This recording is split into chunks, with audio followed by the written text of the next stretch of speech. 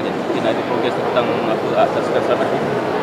Ah, okey. Yang itu dalam beberapa hari lagi kita akan ada khas untuk kod sukan selamat. So kita akan jemput semua in a few days. Ah, in a few days. Ada timeframe yang betul-betul sama bila untuk minggu depan? It's in a few days time next week.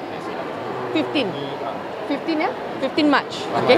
Lalu itu maknanya YB akan mungkin macam apa kata keselamatan untuk, untuk wanita tu jadi sebenarnya isu sukan selamat ni dia bukan uh, khas untuk wanita saja. Lelaki pun perlukan sukan selamat. Okay, so bila kita cakap pasal sukan selamat, dia bukan isu gangguan seksual terhadap wanita saja. Kita ada bullying, keganasan.